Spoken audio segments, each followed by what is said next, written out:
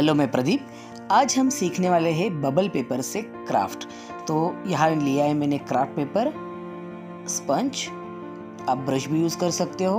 यहाँ लिया है मैंने googly eyes acrylic colour black और वाइट उसी के साथ मैंने यहाँ लिया है सीजर आइसक्रीम स्टिक तो सबसे पहले बबल पेपर के ऊपर हम एक शिप का जो बॉडी होता है उसका एक डिज़ाइन बना के लेंगे।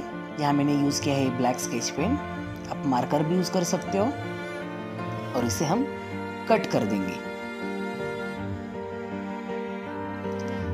इसे सीजर से हम जो ब्लैक स्केच पेन से हमने बॉर्डर बनाई है, वह हम उसे कट कर देंगे।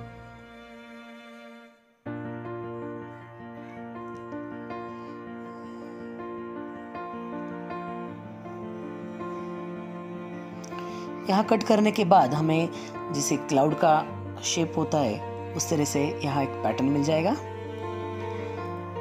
नेक्स्ट हम क्या करेंगे? इसके ऊपर एक्रेलिक कलर से कलर करेंगे। तो सबसे पहले मैंने यहाँ लिया है वाइट एक्रेलिक कलर पैलेट में हम कलर निकाल के लेंगे। यहाँ ब्रश से भी कलर कर सकते हो। यहाँ मैंने स्पंज यूज़ किया है। आप देख सकते हो। और इसे हम जो बबल वाला जो साइड है यहाँ कलर करेंगे।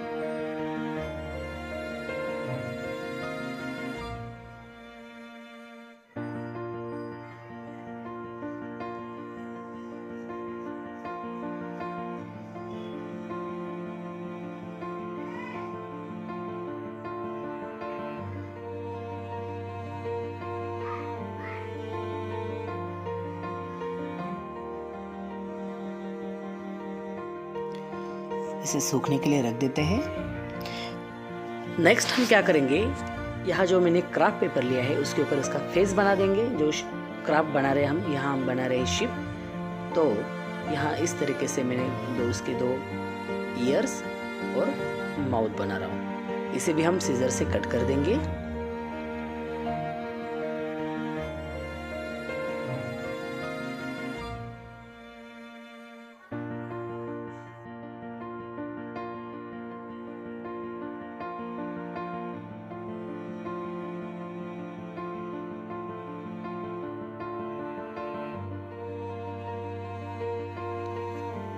ये कटिंग हो गया है।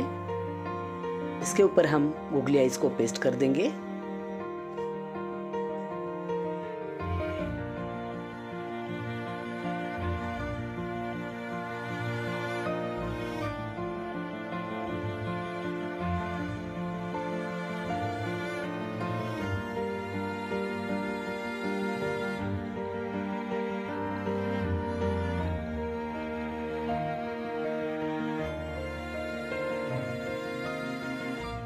नेक्स्ट हम आइसक्रीम स्टिक को सेंटर से कट करेंगे और उसको ब्लैक कलर लगाएँगे। ये हमारा लेक का काम करेगा। यहाँ मैंने एक्रेलिक कलर का ही यूज़ किया है।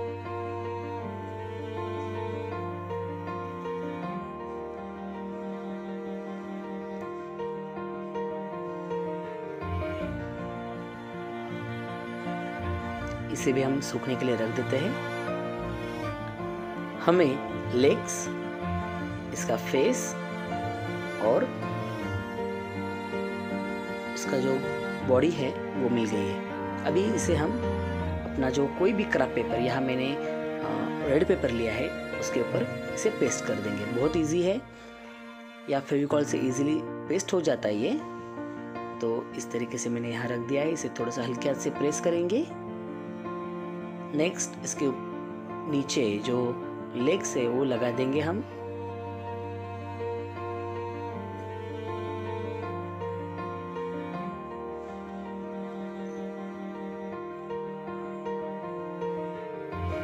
और बाद में इसका फेस तो आप ये देख सकते हो ये क्राफ्ट हम ये दिखने में बहुत अच्छा लग रहा है और इसे हम फ्रेम कर सकते हैं। डेकोरेट कर सकते हो, ग्रीटिंग कर सकते हो, ये दिखने में बहुत अट्रैक्टिव लगता है।